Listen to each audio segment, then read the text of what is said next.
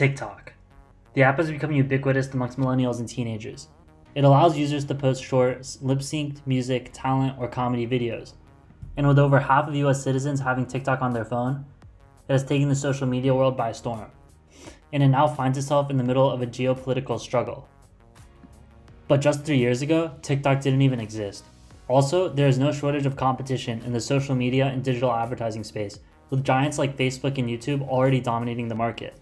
So, how did TikTok come from nothing to becoming the most downloaded app globally in 2020?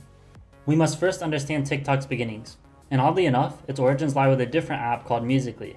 Founded in 2014, Musical.ly was a user friendly app that allowed its users to create and edit videos and share them to their friends. It had strong success, reaching number one on the iTunes App Store in 2015. Musical.ly's success was noticed by Chinese company ByteDance, which launched its own copycat version of the app in China called Douyin in 2016. In 2017, ByteDance bought Musical.ly and relaunched it as TikTok in the US. So, what exactly is TikTok, and how are so many teens and millennials now addicted to it? Unlike other video and music sharing apps like Snapchat, TikTok is not for sharing videos with your friends. Instead, it is more like YouTube, where a user posts a video that can be viewed by anyone on the platform. Videos are capped at one minute long, and TikTok has a powerful AI engine that suggests content that is most likely to engage the viewer. TikTok is best known for lip sync videos, but as TikTok influencers compete for engagement, they become more and more creative, and the sky is the limit for what they can produce. Because the videos are so short and the AI engine for recommending videos is so powerful, it becomes an addicting proposition for users who can often spend hours at a time scrolling through their TikTok feed. TikTok's content creators take advantage of the app's easy to use interface and filters to create content. This is what really differentiates TikTok. Unlike YouTube, the videos are extremely easy to make, so there is a much larger pool of content creators. And unlike Instagram, your content can be recommended to anyone, not just your followers. And finally, unlike Vine, TikTok has a sophisticated AI engine to keep you glued to your phone, scrolling down your feed for hours.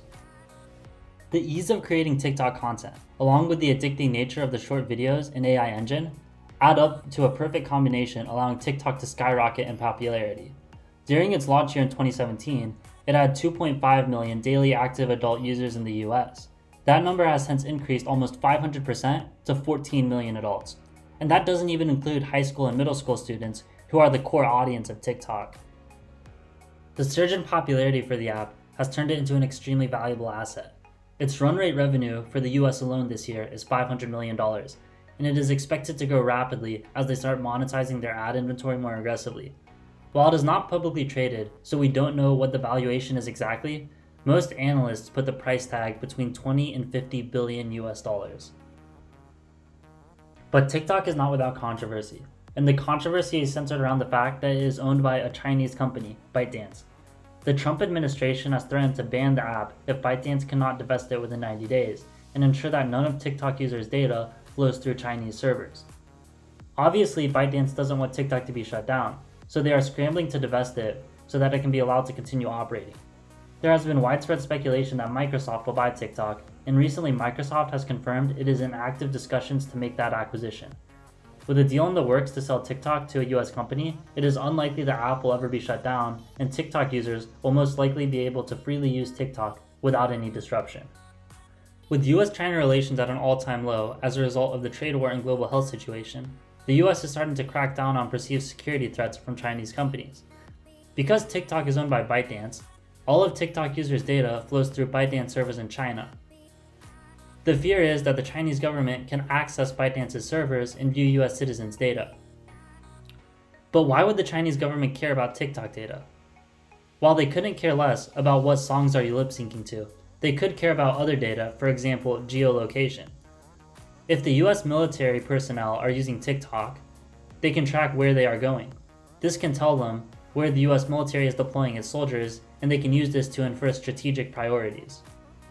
Even if the security concerns are unfounded, there are other reasons the US is cracking down on TikTok. The US and China are in the middle of a trade war, and part of this conflict is about who will control the technology of the future.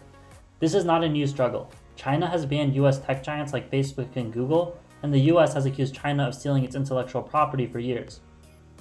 So now that Chinese tech companies are becoming more advanced and able to compete with the US tech giants, it's natural that the US will try to fight back against this. Because whoever dominates the tech and internet industries going forward will have an outsized influence across the world. And as it stands now, this is a two horse race between the US and China. TikTok is not going to be the last casualty in the US China technology conflict. The Trump administration has already talked about cracking down on popular Chinese messenger app WeChat, and China is sure to retaliate, possibly by banning US tech companies like Apple from operating within China. We could very well end up in a new world order where there are two internets and two technology ecosystems, one centered around the US and the other centered around China. They would not be compatible with each other, and every country will have to make its own decision about which one to use. The US China tech conflict is one of the biggest issues of our time and has the potential to impact all of us. So let me know in the comments what do you think about TikTok and the ongoing US China tensions. Also, let me know what company or brand you want me to cover next. Wall Street Millennial signing out.